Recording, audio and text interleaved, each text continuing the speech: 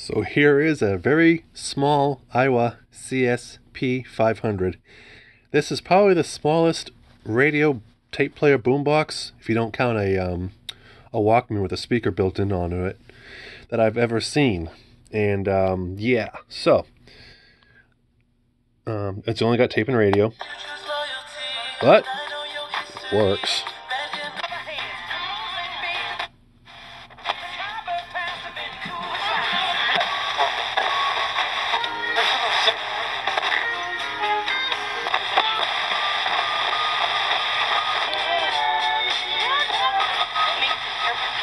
I mean, the tuners aren't the best. Throws up to 60% off.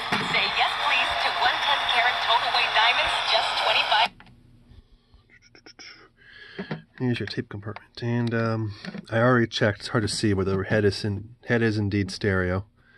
Um, belts are intact, but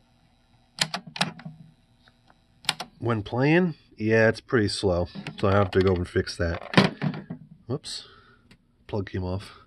Because I'm using one of these stupid little adapters. Where's this the word tip? It has to go that way.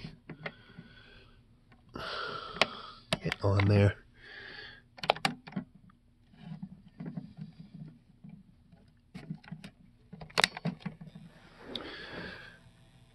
So it's a bit slow, and I was going to say, according to the looking at the pinch roller, it doesn't really look like it's ever been used. There's no tape oxide buildup on it. Um, where the hell's my cassette? Oh yeah.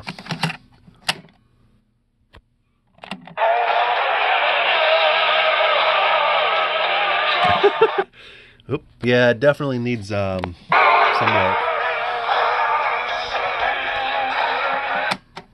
But yeah, that's literally it. And it's got a built-in mic so you can record and speak. But I'm not going to do anything with that until I get the tape player up to speed. So anyway, yeah, that's a. I mean, that's the size of it compared to a. that's a tiny little radio. All right, later.